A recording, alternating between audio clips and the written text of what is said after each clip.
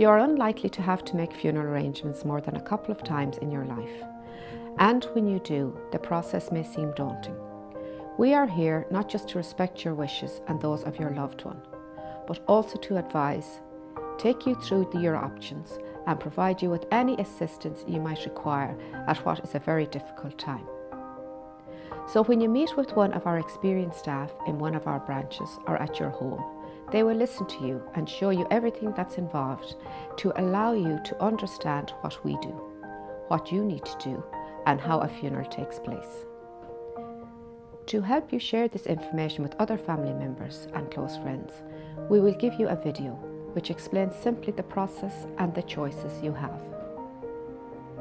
We will also make sure that whatever funeral you decide upon meets your financial requirements.